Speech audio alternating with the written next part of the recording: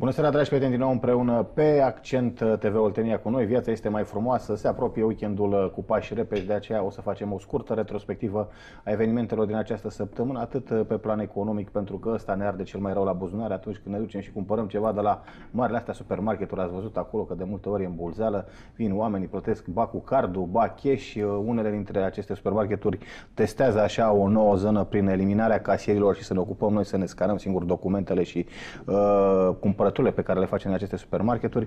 Pe de altă parte, politicienii vedem că dau foarte multe bulbe, nu numai cei din opoziție, cât și cei de la guvernare, pentru că avem război aici la graniță, avem situația economică delicată, avem uh, PNRR-ul ăsta cu clauzele extraordinar de dure pe care trebuie să le îndeplinească România și care trebuie să duse la capăt cu succes dacă vrem să tragem acei bani pe care ne pun uh, la dispoziție Uniunea Europeană.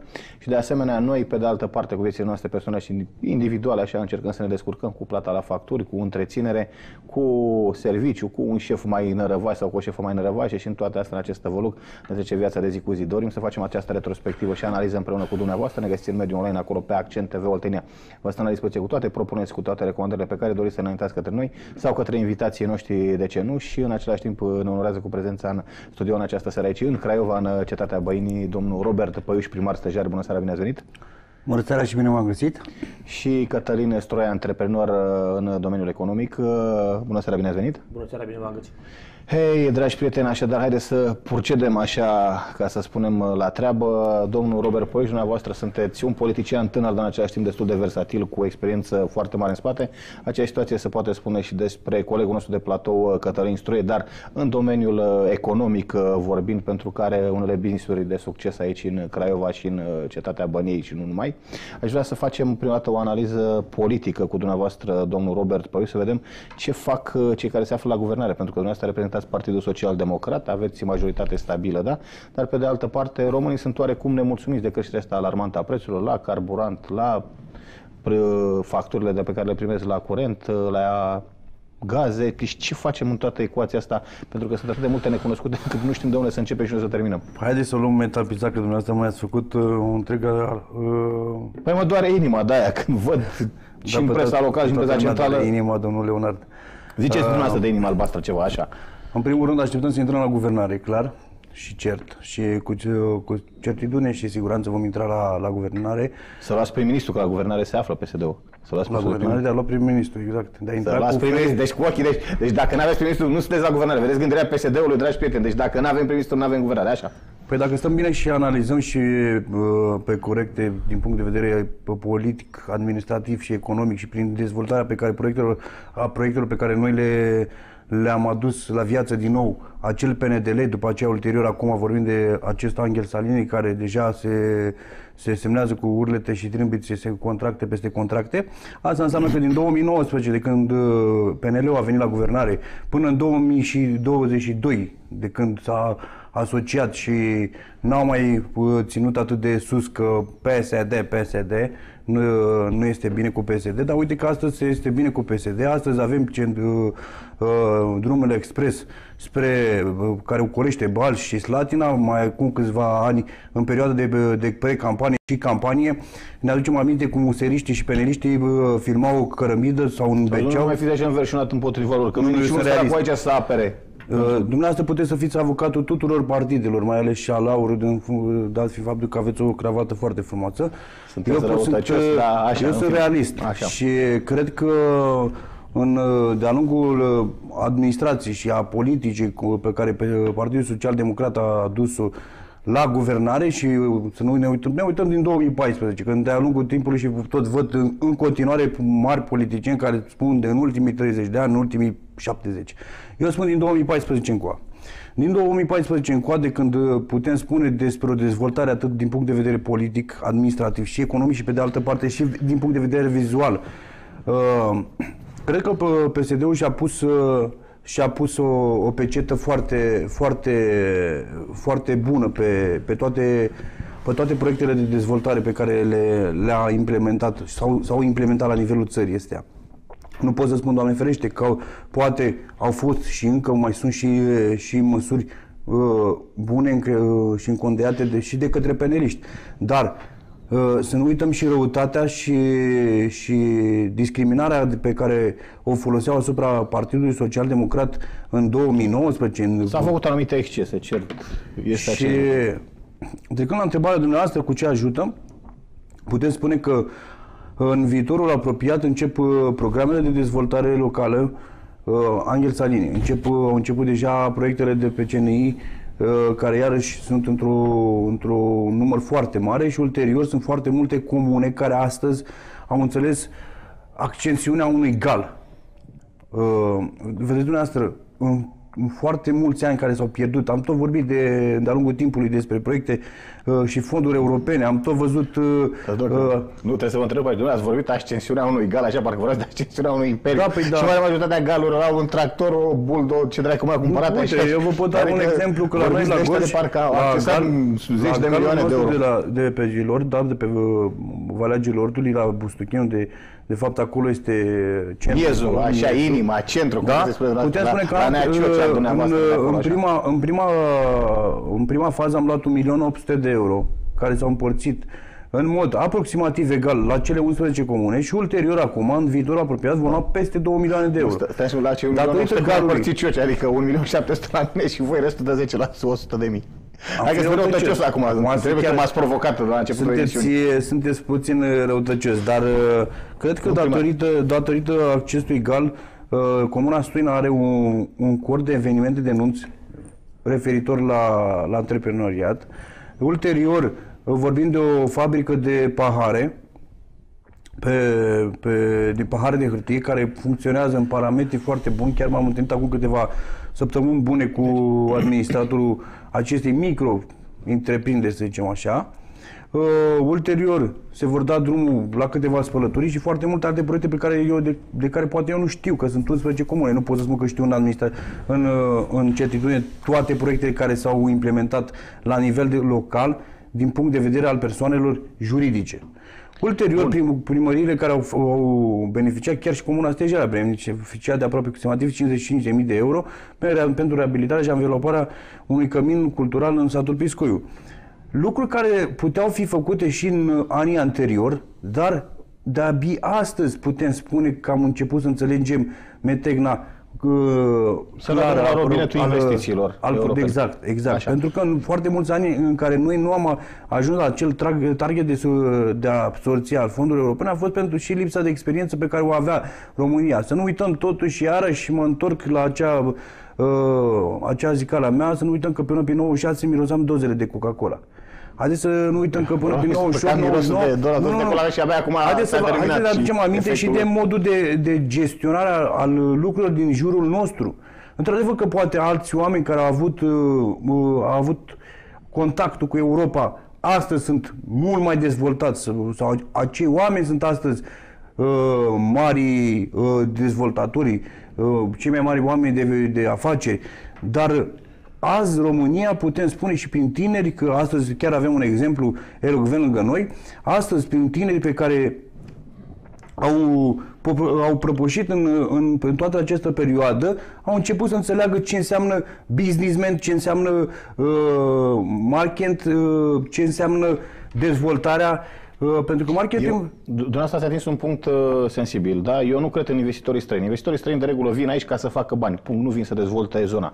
Eu cred în investitorii autohtone ai noștri, cum este Cătălin Stroi, care încearcă să dezvolte locuri de, mult, de muncă. Și aș vrea să vă întreb pe dumneavoastră, apropo de latura politică. Eu sunt un pic mai sceptic la ce le spun politicienii, pentru că domnul Robert Păiuș, în primul rând, este primar și reprezintă latura aceasta politică și administrativă, iar dumneavoastră reprezentați zona de business și zona de antreprenoriat.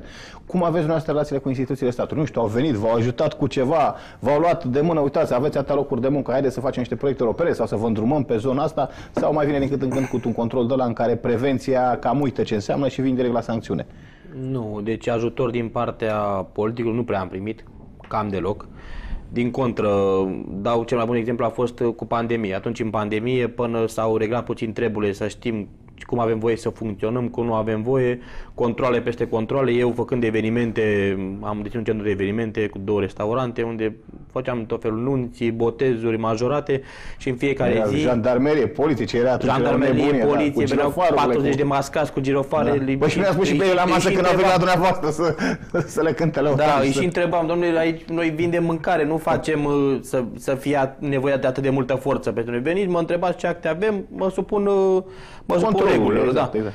Deci aj- eu nu am foarte, cu politicul nu sunt foarte bine pus la punct, nu, nu fac parte din zona politică, doar din zona afacerilor, dar ca și ajutor nu am primit nici fonduri europene, nici mai nimic, să zic așa. De, de sunteți oarecum uh, descoperit din zona asta, să știți că marea majoritate a antreprenorilor din România, nu e cazul numai noastră, care au construit uh, business-uri, uh, nu prea au primit sprijin din partea autorităților locale. Nu am Acum, primit nu deloc. știu, există o nepăsare, o indiferență, o lipsă de comunicare, o, sunt lumi incompatibile, nu dau seama. Robert Păiuș aici, într-adevăr, poate să facă o legătură între zona de antreprenoriat și zona de politică, dar, în general, uh, marea majoritate a politicienilor nu că nu sprijină antreprenorii, ci de regulă atunci când văd că există o mișcare de a zmuci, de a atrage căruța aia un pic înainte în care se află acea zonă, acea comunitate, da? Vin și mai trag frâna de mână din când în când. Nu am avut nici bețe roate puse de, din nicio parte, dar uh, atât doar să respect legea, doar controle, să fim în regulă cu cărți de muncă, cu programul care îl avem, cu inclusiv gălăgia, muzica, să o ținem încet. Uh, Dețin restaurant de 9 ani și tot timpul au problema asta, că este prea gălăgie, că e aglomerație, că sunt probleme. Păi și Asta se gălăgia întâmplă. aveți vecini de aia care vă sunt Avem prieteni, între vecini, să ghilimele, zic, și de mai rigoare rău- și mai răutăcioși care- Și pun telemâna pe telefon, da. Da. pac. Trecând pe la poartă văzând că avem eveniment, sunau poate doar de răutate sau poate chiar deranjam pe cineva. Într-o zi fi muzica poate mai tare, poate cânta cineva cu un ton mai ridicat. Deci nu am primit, nu am avut bețe în roate să vină, domne, ce faceți dumneavoastră aici. Doar să respectăm legea. Veneau să ne spună doar să avem uh, grijă să respectăm legea. Ceea ce e foarte greu să... Deci dumneavoastră tot ce ați construit, a construit, ați construit pe propriul cont și pe Doar propriile pe resurse muncă, pe care da, le-ați de- avut în toată această perioadă. Da, da, în 15 ani de muncă, ușor, ușor, pas cu pas. Prima oară am deschis un restaurant mic de 50 de, de locuri, închiriat. Am început după aceea cu un cor de nunți de 80 de locuri, după aceea m-am extins, am ajuns la 1000 de locuri. Și acum, în prezent, două restaurante de evenimente, unul de 700 de persoane și unul de 300 de persoane.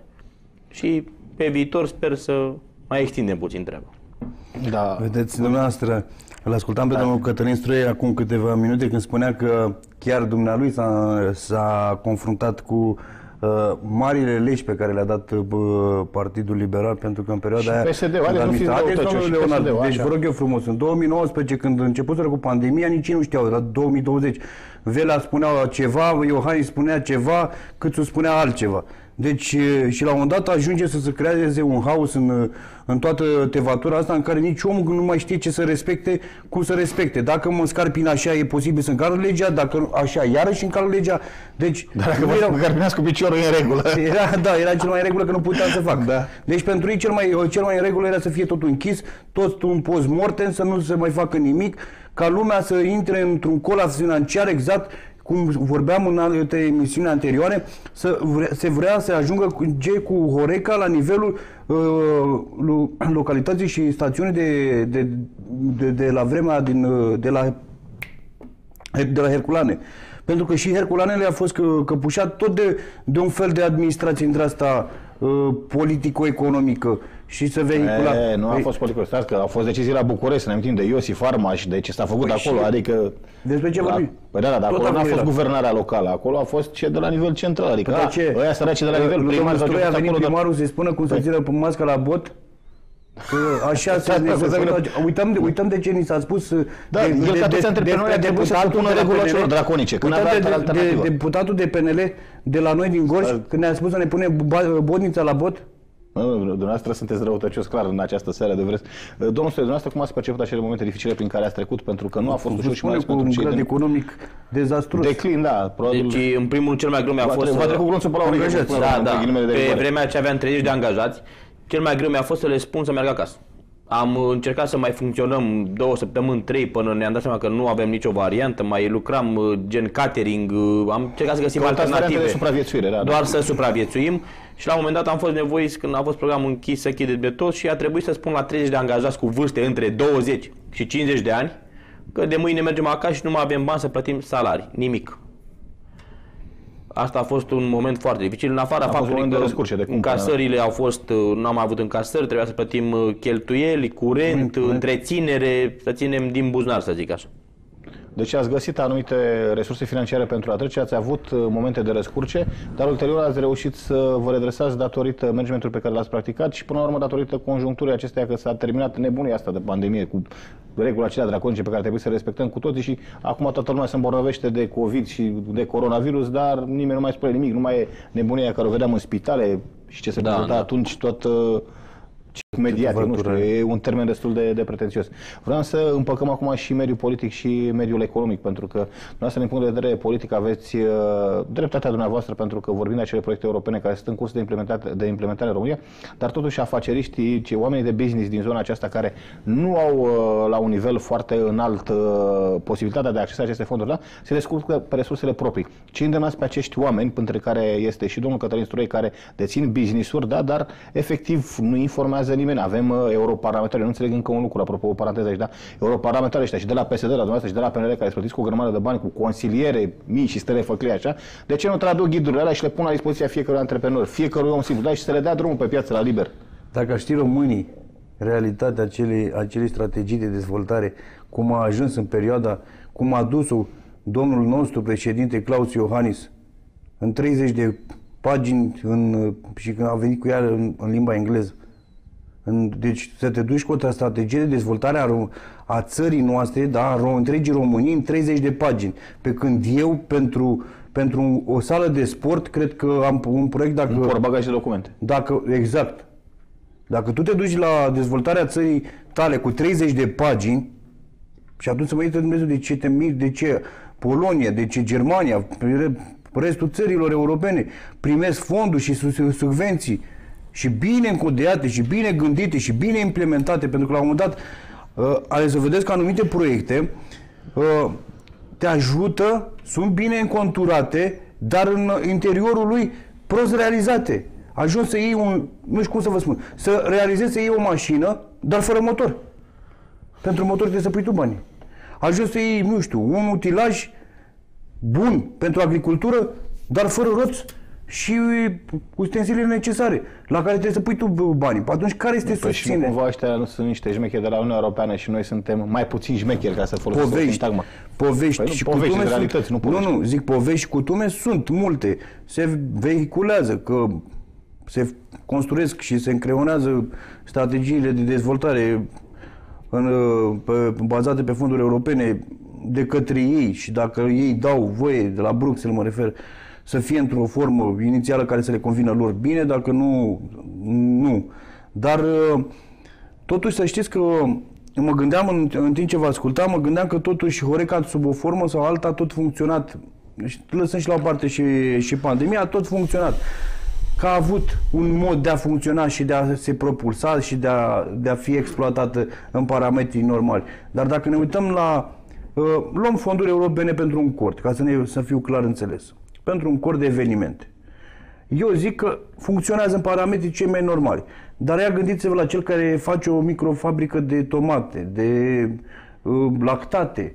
Care este puterea lui de a de a, de, De a penetra piața, la zero, nevăzut nu are atunci. niciuna. E Păi nu are zero, niciuna, pentru nicio că- fel de putere. Sau păi cel în puțin lanțul ăsta tu foarte ești doar o scăzută. simplă, o simplă verică. Păi uitați-vă la Cătălin Stroi, din domeniul antreprenoriat- antreprenoriatul, da? A stat acolo, au dat ăștia ca s-a curățat toate direcții și a supraviețuit. Păi despre asta este vorba Și și sunt noi nu mai foarte vorbim de a mulți. face performanță. Sunt foarte Și aici mulți. Vor- Cum? Sunt foarte mulți care au fost în Păi situația. da, dar de ce nu ieși și spun, doamne, uitați, ne confruntăm cu problema asta, A, B, C, D, da? Cătălin nu au Stro- ieșit. Au, fă, au făcut chiar aici, am, în față, Da, da, da, am văzut. Au și făcut efectul zero. grevă da. și... Ați fost și dumneavoastră atunci când, A în fost, perioada de a pandemie, fost, când... a fost, da, da, da, da. Și a băgat Și cineva efect, da, seama. da, da, Da, efect. nu, Au nu, fost nu. 40-50 de Da, oameni da, au fost. Ce au care... fost, au fost, cred că nu Eu e vreau în să Craiova. spun 40-50 Mii ați fost. da, da, da, 40-50 de oameni, uh, domnul Cătălin, uh, de administratori, adică fix patroni, adică 40-50 de Da, și restaurante, da. de branduri. Și nimeni nu i-a băgat în seamă că acești 40-50 de oameni însemnând un număr de aproape de mii de oameni de angajați, plus restul oamenilor care se simțeau cu restul cafenelor și uh, tot ceea ce Afectați, înseamnă da, ramura da, Horeca.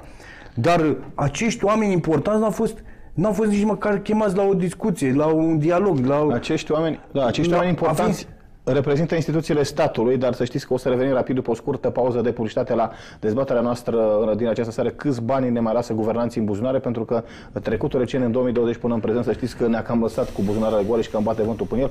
Până ele poate reușim după această perioadă să mai facem și noi ceva agoniseală pentru țara noastră, pentru viitorul nostru și pentru familiile noastre. Luăm rapid publicitate și revenim.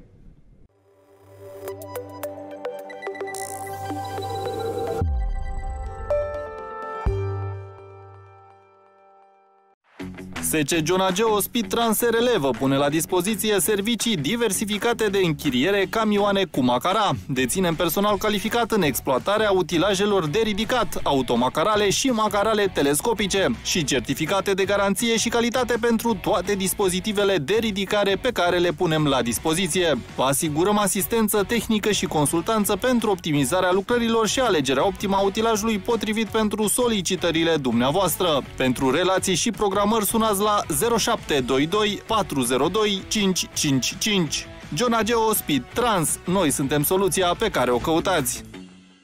Cofetăria Vivien vă așteaptă să vă îndulcească ziua și evenimentele frumoase din viață cu cele mai delicioase prăjituri și torturi speciale preparate cu produse naturale. Vă așteptăm la cofetărie pe strada Constantin Brâncuș, numărul 33, să lăsați o comandă sau puteți suna la 0747 070404.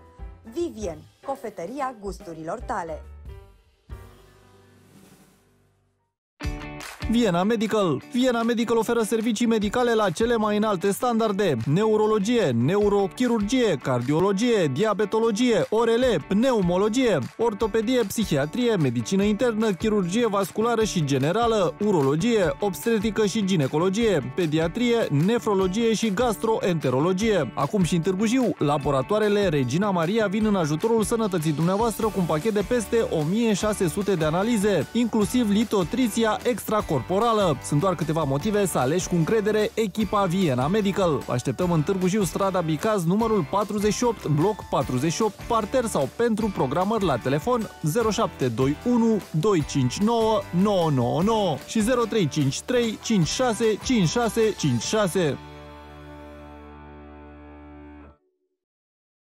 Când o să împlinești 18 ani, unde o să faci școala de șoferi? La școala de șoferi auto TNC. De ce? Pentru că sunt profesioniști. Personal profesionist, autovehicule performante, plus multe alte facilități. Școala de șoferi Auto TNC.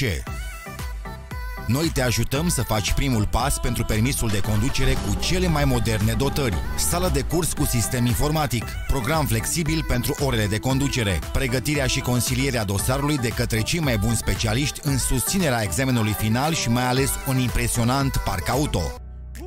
Pornește la drum cu cei mai buni. Obține acum categoria de permis auto A, B, C, BE, CE sau chiar D. Ne găsiți în Târgu Jiu vis-a-vis de prefectură, în incinta hotelului Brâncuș. Telefon 0765 050111. Vrei permis? Visul tău devine realitate cu școala de șoferi Auto TNC, cu o experiență de peste 7 ani. Vino și califică-te în unul din cele 10 sedii ACCRC internațional din țară. Portofoliul nostru de cursuri este pregătit pentru tine. Avem o gamă largă de peste 150 de cursuri pregătite să te inițieze în noua ta carieră de succes. Fie că dorești să pornești o firmă sau vrei să înveți tainele bucătăriei sau contabilității, noi îți stăm la dispoziție. La final vei primi diploma recunoscută de Ministerul Muncii și Justiției Sociale și Ministerul Educației Naționale. Relații la sediul din Târgu Jiu, județul Gorj, strada Traian, bloc 9, birou 4, parter, la numerele de telefon telefon 0353 418 580 0761 909 534 sau pe www.accrcinternațional.com. Clinica de frumusețe Estetica, cu o vechime de peste 15 ani, în Târgu Jiu, strada Alexandru Ioan Cuza, bloc 26 parter, vis-a-vis de liceul teologic. Vă așteaptă într-un mediu ambiant cu servicii de calitate pentru frumusețea dumneavoastră. Cosmetică, estetică facială și corporală, masaj, tunel, manicură, coafură, micropigmentare și multe alte servicii de înfrumusețare. Programări la numărul de telefon 0765 166 477 Clinica de frumusețe Estetica îți face viața mai frumoasă. Știm că a fost greu să stai acasă, dar ai reușit. Nu o să-ți spunem că va fi mai simplu de acum încolo, pentru că nu știm. Ce știm e că nu o să ne oprim. Nici noi, nici tu. Depinde de noi toți să mergem mai departe. Fan Curier. Livrăm în continuare, oriunde, cu plăcere. Intră pe nuneoprim.ro și vezi cum putem avea grijă unii de alții.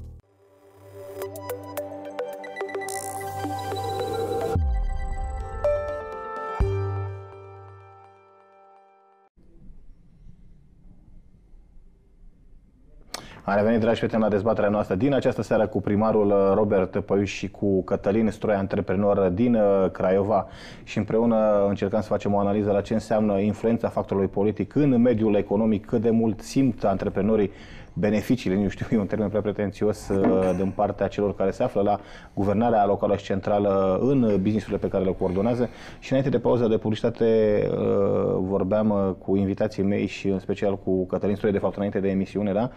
Una dintre persoanele pe care le admiră cel mai mult este Ștefan Mandachi, a spus, da? Tot așa antreprenor de succes, cu un lanț de restaurante, cu un hotel, dar care, ce motiv o fi avut de și-a mutat aproape toate businessurile, toate afacerile în Dubai, acolo nu știu. Probabil a văzut că acolo se face dezăpezirea mai la timp. Se face dezăpezirea mai eficient decât da. în România. Da, da, da, da. Da. Păi de regulă să știți că în momentul în care businessurile locale funcționează, automat uh, și plus valoarea care se creează prin intermediul locurilor de muncă din acel business aduce bani la bugetul uh, local. De ce? Eu sincer, eu m-am săturat să văd business-uri străine, corporații astea multinaționale care efectiv aduc foarte mulți bani din, uh, de la noi din România și trimit în țările de origine de unde sunt fiecare, din Franța, din Germania sau mai știu eu de unde, da? Iar noi, românii care au un magazin din ăsta de cartier sau un magazin mai mare sau două magazine, da? Sunt săracii copleșiți cu fel de fel de amenzi, cu fel de fel de controle, iar cred că în vara anului trecut a fost uh, un uh, șeful de la OPC, la nu știu ce lanț de ăsta retailer mare, nu putem să dăm numele că știm exact cu toți cine, și pe l-a chemat ambasadorul la ordine și a doua zi l-au schimbat pe ăsta de la șeful OPC-ului. Păi, doamne, deci mie vine să mă închin în ce, în ce țară trăim. Caz real, adică există în presă. Tot. Sunt, sunt, mă, dacă nu de mult, cred că și la Târgu Jiu s-a întâmplat ceva similar când s-au luat până la... Păi da, dar n-au schimbat șefii OPC-ul, nu a schimbat, adică băi, ai îndrăznit să intre la mine pe ușă. Ia stai așa, că n-ai avut pașaportul potrivit. Și dacă stăm să ne gândim, au fost uh, lanțuri hoteliere și de restaurant uh, cu un prestigiu foarte mare în județul Gorj și unele chiar pe fonduri europene. Care păi da, da, da, azi, era doar o pată de rugină la țeava de gaze. Deci vreau seama, i-a dat închidere pe o pată de rugină la țeava de gaze. Domnule Leonard, de ce ne mai mirăm când pe noi ne ține închis un ONG pentru vipera sălbatică care nu bea apă din gheabul de platină și așa mai departe? Când noi am investit 99% uh, în microcentrala aia, nu? Da, hidrocentrala de pești, microhidrocentrala de pești, da. da. Păi da, au tot zis că și... deblochează proiectele, că or să facă și fel de angajamente, dar a rămas tot un stadiu de simplă discuție. În rest, fapte nu am văzut.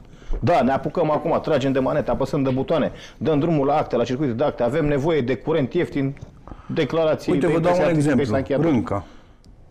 O stațiune extraordinar de, de frumoasă, care din punct de vedere administrativ este sub orice critică. Și chiar eu pe piele, propria mea piele am pățit treaba asta. Adică nu mi se pare normal în 2023. E, v-ați dus să vă dați cu schiurile acolo da, și ce nu va conveni? V-au supărat ăla de la parcare, cine v-a supărat unul de la... Să nu ai apă în ei, păi vă duceți afară, tu luați să nu ai apă să la gaz, să nu ai apă să bei, să se oprească apa că îngheață conducta. Că... Păi ia, domnul Stroi, să nu aibă apă la restaurante acolo. Să vedeți cum vin 70.000 de tătari din toate instituțiile statului acolo. Păi nu, cam asta este. Haideți să vedem că nu este prima oară. Și noi cred că ce putem fi... face? Ziceți asta, ce putem face, da? Luat legăt, luată legătura cu prefectul județului. Așa. Da?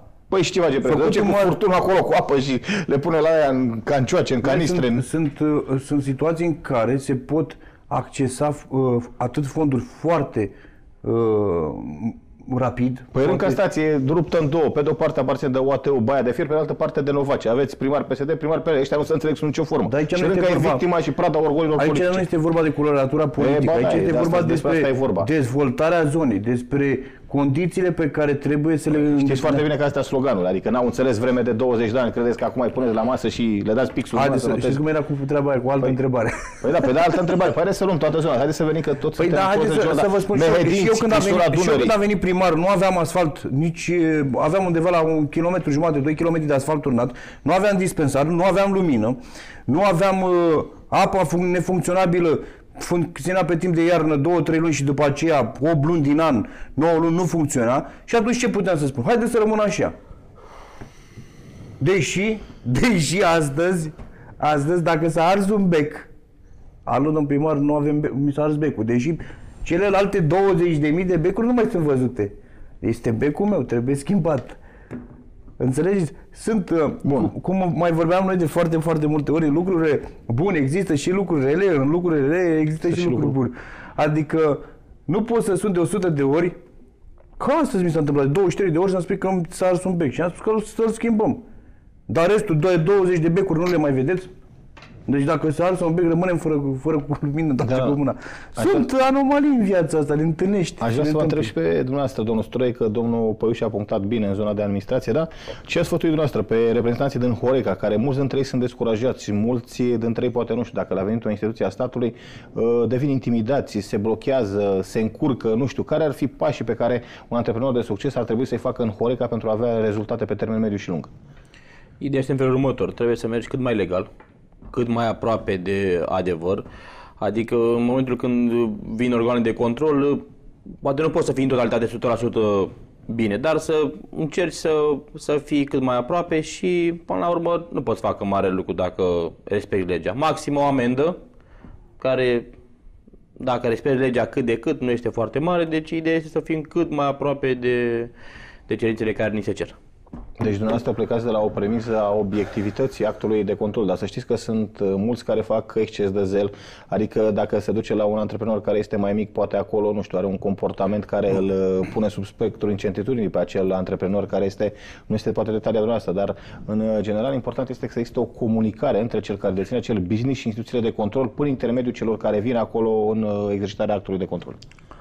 Știți, mă uitam, mă uitam la domnul Cătălin Stroieș și mi-a venit în cap așa pf, sfulgerător uh, acea zicală în care uh, cineva, uh, nu mi-aduc acum aminte și o să-mi uh, am un lapsus, spunea că ca să reușești în viață trebuie să ai o meserie. Astăzi mă uit la Cătălin și văd în el o meserie, pentru că tinerii din țara asta visează să dezvolte, visează mm, Bentley, piscine, vile, bla bla bla. Dar nu muncește și nu se luptă Fără pentru a visele lor. se, a se a suda și a se uh, și construi prin muncă o meserie. Și meseria de ospătare și mi-e drag să o spun și eu de foarte multe ori și am spus-o de în nenumărate trusuri de presă și în, în emisiuni, nenumărate emisiuni. Păi acum, ale ca să noastre. fiu și eu Uh, uh, țin de modestie, este- este... de presă la nivel regional suntem decât noi, din câte știu, dar în fine. Așa. La noi la Gorj mai sunt unul, două. La dumneavoastră la Gorj. Uh, și eu am recunoscut și am spus și pe, de la bun început că prima mea meserie sau prima meserie pe care am iubit a fost uh, ospătăria. Și cred că asta îți- îți creează primul feedback cu omul. Pentru că Interacțiunea încep, socială, exact. Uh, începi să-l înveți, să-l simți, să-i zâmbești. Poate că eu, de exemplu, veneam supărat, aveam greutățile mele ca toți oamenii, ca, sau ca toți tinerii la vremea aia și datoriile neplătite la telefonul mobil, ca toți tinerii de la vremea aia. Și, dar trebuia totuși să, să, să-mi păstrez un blazon, să, să, iub- să, să arăt Ceea ce a face clemența și profesională, dar profesionismul, către de, profesionalismul din nevoile mine. omului care e client exact. în Și restaurant la ulterior, momentul respectiv. Uh, această meserie contează și uh, uh, dă drumul la foarte multe ramuri și la un moment dat am luat odată, acum cred că vreo 4, 5, 6 ani, cred că dacă nu, hai, 6 ani sigur, am luat o carte cu primii 300 de milionari ai României. Aia de carton Top sau reali. 300 la Top ăla, 300, auriu, da? așa, da. Aproximativ 110-105, vă dau un scris că puteți să verificați, au la bază meseria ospătăriei. Colegii mei, hai, Serios? gata, după emisiune, Nu vă știam. rog... uh, Pe cuvânt haideți de să onoare. ne- Știam asta, da. Domnul Stroie, dacă Mi se pare aveți că era nevoie- în top, în Ia. top 300 din 99. 300 capital era, da, Capital, care apărea, uh, da. uh, uh, volumul 99, Dar asta e o două- condiție uh, sine două- qua non sau 2000, două- 2000, 2001, 2, ceva de genul, că era pe, pe 1 sau pe 2 ani. Deci asta am, și-am găsit-o întâmplător undeva, așteptam pe cineva și am luat-o și mă uitam Domnul în primar, oră asta nu e o condiție sine qua non, Ba dar da, ba asta da. e un început definitoriu pentru poate anumite vise pe care le noastră. Dar acolo toți au fost combinagii care au avut legătură cu securitatea, cu fostul sistem înainte de, Păi, domnule, de, stați de așa, 89, Victor, care a avut acces haideți la să fim banii serioși. Dunărea, care Prima- făcea să ocupa comerț Domnule, exterior. domnule. Despre ce vorbim? Marele afaceri din România pe asta s-au făcut. Vedeți de ce Nu pe vorbesc chestii de eu astea de individualiste, ce spuneți dumneavoastră, de, de self-development, să te dezvolți niciodată. Păi asta prima spune oară când vreți să sistemul- ajungi într-un Așa. oraș și vrei să-l cucerești, comună sau oraș, hai să zicem un municipiu, primul contact trebuie să cauți cel mai bun taximetrist, cel mai bun ospătar, cel mai bun lăutar, da? Și cel mai bun ziarist. Și atunci ai 10% din tot ceea ce se întâmplă în... uh, Informațiile reale, da. Exact. Păi la un... Dacă eu plec, securiștii aia când pleacă- pleacă și ei să mănânce, să bea, că să știu între ei. Unde să Nu mai sunt vremurile de înainte. Hai, lăsați că acum mai socializează, lăsați așa. Domnul Stroie, dumneavoastră cum îi percepeți pe cei care îmbogățiți sistemul de după 89 pentru că dacă stăm și ne uităm, domnul primar așa într-o notă, într-o tușă de eleganță, da, a spus, domne, că au plecat de undeva de la baza societății, prin muncă, dăruire, sudoare, etc. Nu, și povestea că- toată, da, așa, care era de întrebarea mare mea. au ajuns acolo. Dar aia, marea majoritate a fost angrenată într-un sistem de unde au, s-au Nu sifonat toți. miliarde. În fine, haideți. Cum a zis Hai. și Robert, și eu m-am uitat, uh, și eu Da. am făcut acest sondaj și m-am uitat la, la top milionari din România. De obicei, cei care s-au îmbogățit foarte mult și dăm câteva exemple la cine m-am uitat eu, spre exemplu. Cei care, ca sau și- dacă îmi dai voie... Stați, să- lăsați, lăsați pe domnul Stroie. Ia vă rog să vedem o altă opinie, că bă, să lăsați pe domnul M-am Stroie, uitat vă de la Ion Țiriac, de la Dinu Patriciu, care nu mai este săracul Da. în viață. Sorin Ovidiu Vântu, chiar putem spune că este un om de afaceri mare. Toți cei care au avut afaceri de ajuns Dorm top liniștit, milionari. FNI veghează pentru tine, așa? Da, da, da. Excepțional. Uh, Să mai La, apropo- la bază da, a avut asta o care- meserie, zic eu. Fiecare a avut o meserie care și un simț al dezvoltării mai, mai mare decât ceilalți și o viziune după 89. Eu nu m-am născut în timpurile acelea, cred că dacă mă nășteam atunci, eram, aveam vârsta de acum, pe atunci, probabil făceam și o parte din, uh, Oricare. din top 300. Aveam altă, altă viziune. La viziunea dumneavoastră pe care o bazați de management Da. pe, pe forță, autoritate și experiență, da? Să nu fi fost plecat la muncă în străinătate acum. Nu, Că- eu am așa, o problemă, pentru sunt că- foarte, foarte patriot, foarte patriot. Păi asta era o greșeală, era greșel pe Sunt care foarte am- patriot și nu am fost plecat din țară niciodată la muncă, nu m-am luat niciodată în vedere acest lucru să plec din țară. Uh, Am avut o asta cu dezvoltarea pe plan uh, local. Repet, sunt foarte patriot, nu știu, am avut, de când eram mic am avut problema aceasta. Deci dacă stăm și ne uităm la generația vechilor dinozauri din politică, doamne, combinații din energie, combinații din uh, Dunărea, combinații Domnule din Leonard, uh, ex, din... Haideți să, uh, să nu... cum dracu ce eu nu spun că nu aveți dreptate.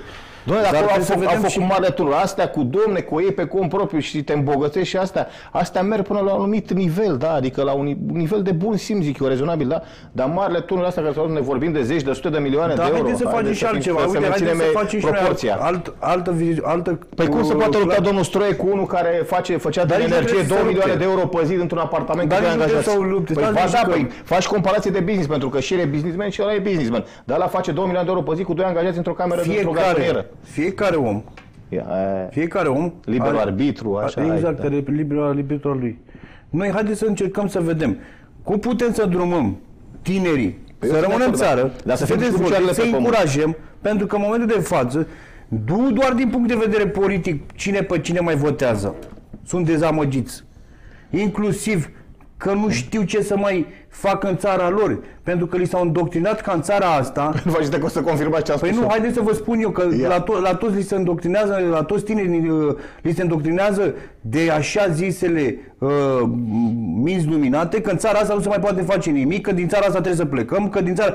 Dar, în schimb, arabii vin să investească, să investească aici. În schimb, germanii vin să investească aici. În schimb, toate țările europene vin să investească aici. Dar noi trebuie să plecăm. Păi dacă noi trebuie să plecăm, Acceptabil. spuneți-ne, spuneți-ne că noi închidem ușile acasă și lăsăm pe alții să vină și plecăm și noi ce să spălăm? Păi asta se Uh, întâmplă. babele la fund, să spălăm uh, moșilor Da, la da, fund, da. să le culegem căciurile lor, să le săpăm grădinile lor și atunci noi plecăm. Că n-are rost să mai La stăm în țara sparanghel, noastră. Da, și la sparanghel, eu cred că... Nu, haideți să stăm cu moștile 5.000, că nu aveam voie să, să facem o, un eveniment cu 75 de persoane, dar 5.000 de oameni, 3.000, 1.000 și de oameni stăteau în Cluj în, aer, în, în aeroport, dar atunci uh, 75 se îmbolnăveau Să cât plece uh, la jumătate din sparanghel, da, au popor. plecat la Haideți să sparanghel. fim Dar văd că au serioși. obținut derogare acolo, deci vă dați seama ce Eu s-a cred întâmplat și atunci. consider Au că sunt noi- derogare, da, nu se Da, poate, da, deci da. autoritățile statului Noi, prin de- emisiunea de din această chestia aia. seară și prin exemplele elocvent pe care le-ați avut în de-a lungul zilelor lucrurilor pe care, le- pe care le-am v-am urmărit, am văzut că ați avut-o și pe, pe Andradina, pe, pe Cătălin, care sunt oameni de succes, tineri de succes, tineri care sunt, au demonstrat în țara lor lu- cum, cum poate să dezvolte un tânăr.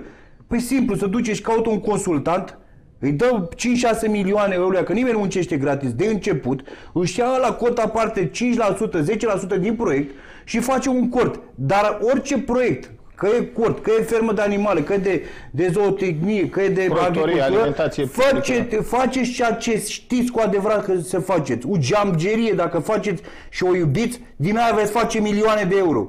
Dacă aia știți să faceți, din aia veți face. Orice meserie, dacă orice lucru pe care îl faci, îl iubești ca pe o artă și o meserie adevărată și o respecti ca pe tine propriu, pe propria ta persoană, atunci vei, vei reuși. Dacă încerci să fentezi și să iei la mișto lucrurile, da. Sau să le iei în derizoriu. Că astăzi făcut și 100 de milioane sau 200 de milioane, da? Și mâine te și dă mâine la te culci pe bască, perină. da. Și o altă persoană vine să facă un eveniment la tine sau vine să îți ia produsele de la tine, spui, n-am timp Am acum, închis, sunt da. ocupat, stai să mă uit pe agenda, ne auzim de luni încolo, luni încolo, marți încolo, ajungi ca nimeni să nu mai dea doi bani și sunt și exemple în, în orașul ăsta, și îmi permit să spun că sunt exemple în orașul ăsta de administratori de restaurante care n-au excelat ca acești tineri. Pentru că au tras ca dintr-o vacă până au săcătuit-o și la un moment dat omului trebuie să, să gândite. Eu cred că, și aici vreau să mă contrazică Cătălin, din punct de vedere al țării, suntem singura țară din Europa care ne respectăm uh, persoanele care, care vin la eveniment. Nu suntem, în afară că de Turcia, noi avem restaurante și blazoane la aftermarket de mult peste. Mult peste. Cred că putem spune că ne ridicăm la, la nivelul unei Arabia Saudită. Da, Pentru da, că dacă da. ne uităm în Germania ce fel de restaurante au, în Italia sau în Spania și în Grecia, să mă ierte Dumnezeu, credeți-mă că am văzut f- fețe de mese când m-am apucat eu în 2000 de o spătărie dintre alea de bumbac de se făcea de pe timpul Ceaușescu. Domnul Stroi, Da, vă rog. Dar știu să se vândă, știu să se iubească. Domnul Stroi, da. cum este să-ți iubești meseria și să faci performanță din ceea ce îți dorești și, uh, apropo, subscriu și eu 100% la ce a spus domnul Doar primarul așa, Răpăș. Doar așa pot reuși și fac o paranteză aici. Am, am mulți prieteni care vin la mine și mă întreabă, spune și mi dăm o idee cum să fac bani, am o sumă de bani, în ce să o investesc. Și la mine prima întrebare este, ce îți place să faci, ce pasiune ai? Păi nu am, dar aș vrea să fac bani. Și îl întreb, dacă n-ai o pasiune care să o dezvolți, nu ai cum să faci ceva. Dacă cauți o pasiune, vezi ce ești tu făcut să faci și de acolo începe. Orice, părerea mea, dacă orice ai face și ești bun în ceea ce faci, te poți dezvolta și poți cere bani pe produsul tău. Orice, de la deci orice meserie, de la cel care vinde covrigi, dacă vinde covrigi într-un fel și face ceva într-un stil anume, va excela și va, va merge mai departe. Dar când nu ai o pasiune și dorești doar să faci bani, nu o să faci bani și nici în business nu vei reuși. Repet, am foarte mulți prieteni care mă întreabă să le dau o idee în ceea ce să fac. Le spun doar dacă ai o pasiune, dacă știi să faci ceva. Știi să faci ceva, dezvoltă treaba aia și atunci vei avea succes. Dar dacă te gândești doar să faci ceva pentru a fi făcut, nu o să meargă decât pe termen scurt. Poate, dacă va merge. Dacă nu, nu va merge deloc și vei închide în scurt timp un business Va care... merge Deci nu trebuie să fie banul ținta principală, trebuie să fie Nu, nu, nu, pasiunea nu. ta care Performanța. ulterior se va transforma în performanță Păi, și într-un... Performanța trebuie să fie Imaginați-vă ținta că, principală. să zicem, un tânăr are o moștenire de la mătușa Tamara un milion de euro și face un restaurant foarte luxos. Nu, nu, asta Nu nu mătușa Tamara aia care o știm noi de la București, alu Năstase, Nu, altă altul mătușă Năstase. Tamara, doar conduc eu Fiecare copil la rândul lui are o mătușă Tamara, stați liniștit. Nu doar Năstase. Uh, investește un milion de euro, face un restaurant care se numără ca și aspecte comerciale top uh, 5 în orașul ăsta. Toată lumea se va duce la el la început, pentru că se așteaptă ca să fie atât știți cum e, să nu fie în față gardul și în spate leopardul. Și dacă tu nu știi să administrezi, tu nu ai un, un colectiv uh, bine organizat, tu nu ai un management bun și crezi că vei excela pentru că ai băgat un milion de euro, vei Ai da și- cel mai mare da, kicks. da, da, da, da. Și acel milion de euro, peste 4 luni, 5 luni sau un an de zile, nu mai mult de un an de zile, te vei chinui să-l vinzi cu 2-300 de mii de euro.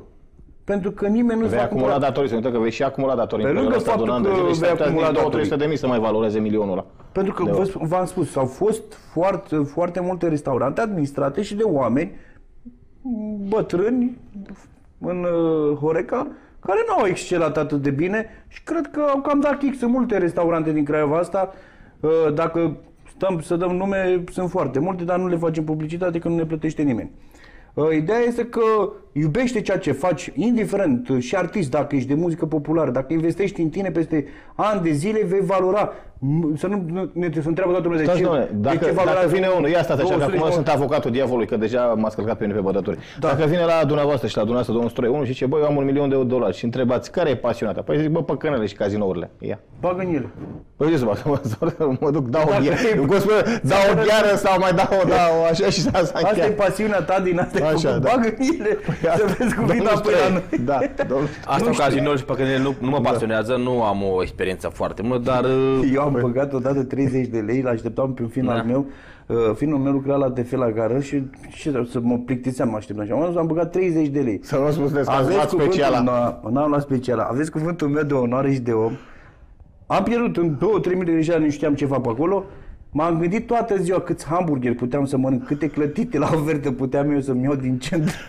Aș vrea să fiu Decât să răutăcios, bag- dar nu sunt acum, în fine. cum mă domnul văd Stroi. eu treaba, dacă are pasiunea asta, să f- să deschidă un casino, să deschidă mai Mai nu multe ajunge, un milion nu baruri, ajunge pentru... Ce mai, să- mai să-și pună multe două, bani trei doar aparate în cu auto. mașinuțe, să-și pună Bă, două ce de faci? aparate. Să duce și Nu, acolo, nu, se duce el și trage acolo și bagă. Nu, Eu zic nu că e, dacă trebuie chiar să- ai pasiunea asta și iubești pasiunea asta, îți faci și trei baruri unde ai 10 mașini, deci de acolo ușor, ușor te dezvolți și în 5 ani și fac, dau un exemplu aici, uh, acum 10 ani, prima mea firmă care am deschis-o, vindeam cafea, automate de cafea.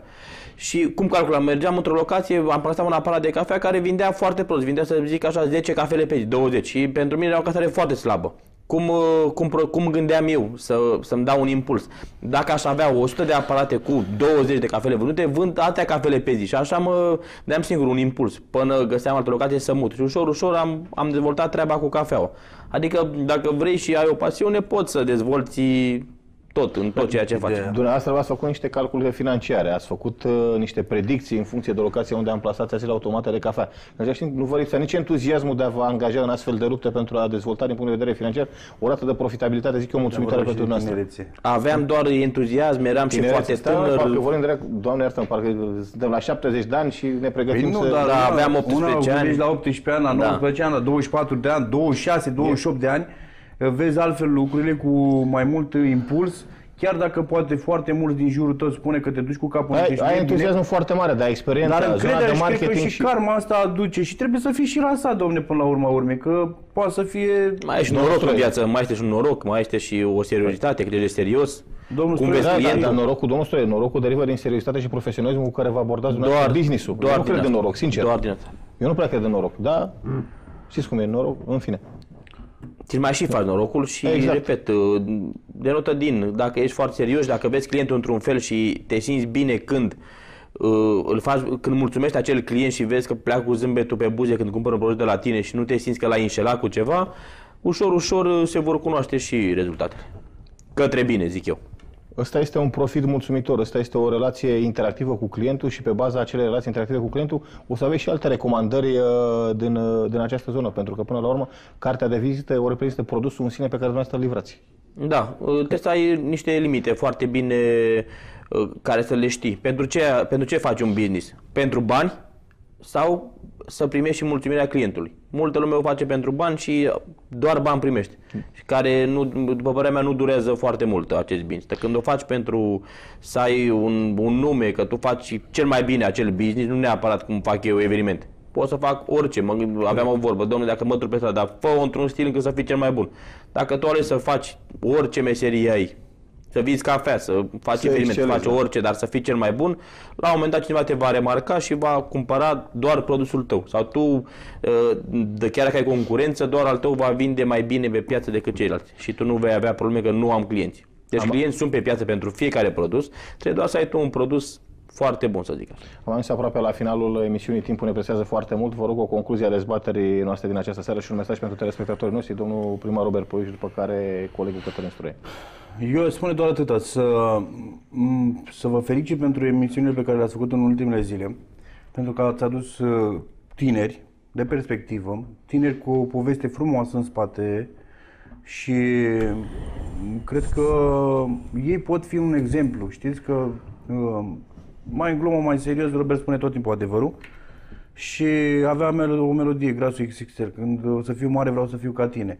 Așa vreau să, mi-aș dori ca tinerii din ziua de astăzi să-l privească pe Cătălin și pe mulți alții și pe, pe mulți alții care fac uh, uh, lucruri cu profesionalism, să-i privească ca pe niște îndrumători și să aibă încredere în, în, în, oameni, în țara asta în general, pentru că țara asta a dat valori și cred că în continuare va da valori și eu zic să ne iubim țara, că deja am început să o dau în dragă. Începem să întârziem, da, cu iubirea față de țară. Domnul Stroie. Eu vreau să vă mulțumesc în primul rând maximat în această emisiune. Este prima oară când particip la o emisiune televizată și indirect.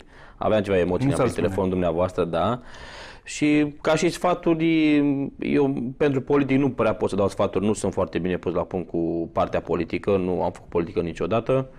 Deși trăim într-un oraș care sunt mulțumit de... Și aici Spuneți-ne ce ce se aveți în întâmplă. su- suflet, nu spuneți politicienilor, spuneți ce aveți în suflet Da. pentru cei care doresc să fie Pe antreprenori. partea de muncă și de antreprenoriat susțin foarte mult treaba asta. În România se pot face bani, te poți dezvolta foarte, foarte bine. România suferă de locuri de muncă, suferă de cumpărat, dar să fie ceea ce trebuie să fie foarte serios. Deci și în România poți reuși poate mai bine decât afară. Cred că dacă ajungeam să plec din țară acum 10 ani, nu ajungeam aici. Sau plecam cu un gând, plec acolo să mă dezvolt, să fac îmi ceva în dați un- România. Dacă îmi dați un minut, dacă, e de 30 de dacă secunde. te duce, dacă te duci în, în Germania, Italia, în restul Europei să faci și cu milionul ăla de euro, în două zile ți să dăm cap. Iar în România, când vine un italian sau orice alt european, este ridicat la, înalt- la nivel de arte, de impresia că ne duce pe noi pe cele mai înalte curmi. Iubiți-vă țara! Seriozitatea și profesionalismul ar trebui să fie cartea fiecăruia dintre noi uh, de vizită, așa cum au spus și colegii mei de platou. Sper că această îndrumare a fost și pentru dumneavoastră utilă și în același timp eficientă în proiectele pe care le aveți de viitor. Vă mulțumesc că ați fost alături de noi în această seară pe Accent TV Oltenia. Rămâneți alături de muzica noastră bună, de programele noastre și nu uitați să ascultați și Radio Accent Oltenia 96,2 FM. La revedere, numai bine!